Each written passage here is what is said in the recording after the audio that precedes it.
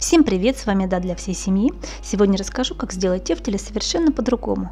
Мы привыкли добавлять фарш, когда делаем тефтели, крупу, но я вместо этого буду добавлять свежие натертые овощи, картофель и морковь.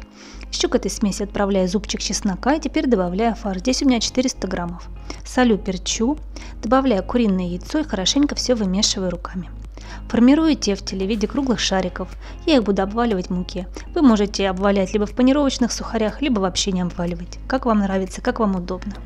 Тефтели буду делать в овощной основе, поэтому нам еще потребуется морковь, картофель, репчатый лук и помидоры.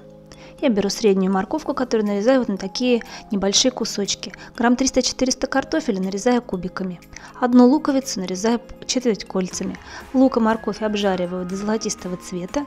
Теперь э, добавлять буду помидоры. Здесь у меня около 5 небольших помидорок. Режу произвольно небольшие кубики. Когда немного морковь с луком обжарились, добавляю помидоры. Подсаливаю, оставляю буквально на минут 5 их э, тушиться. Для приготовления блюда мне потребуется более большая посуда, поэтому я беру сотейник, туда отправляю овощи, добавляю немножко воды и выкладываю овощную смесь тефтеля. Сверху на тефтеле кладу картофель. Нужно обязательно добавить приправ, подсолить. Можно добавить лавровый лист, перец горошком. Закрываю все крышкой, оставляю томиться на медленном огне на полчаса. Через полчаса прекрасный ужин или обед готов.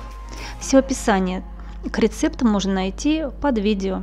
Если вам понравился рецепт, ставьте лайки, не забывайте подписаться на канал. Всем до новых встреч, пока!